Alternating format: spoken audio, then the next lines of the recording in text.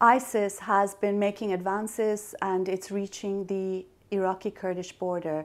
We're hearing reports of people being slaughtered. We're hearing of tens of thousands, in fact, hundreds of thousands of people who fled uh, during this period. There are tens of thousands of people stuck on a mountain near Sinjar where they're, uh, you know, you're hearing reports of children dying of thirst because they don't have enough food and water. We, as public opinion, we, as the people of the world, have to react to this human calamity. Um, ISIS, or the Islamic uh, um, State of Iraq, its banner is fascism of today. It must be condemned internationally by everybody and it must be treated as a fascist movement and the world needs to stand up against this fascist barbaric group.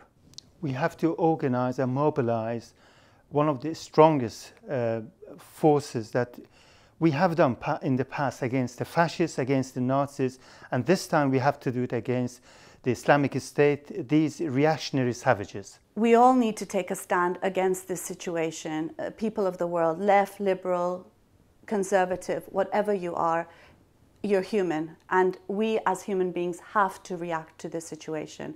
This is our, our humanity that's on the line.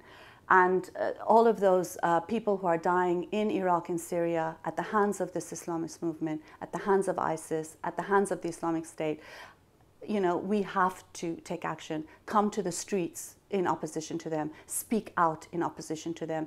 They seem frightening they seem like they are invincible, but they're not. We come from a huge movement in Iran that has brought the Iranian regime to its knees, and we will bring Daesh to its knees as well, the ISIS. Join us.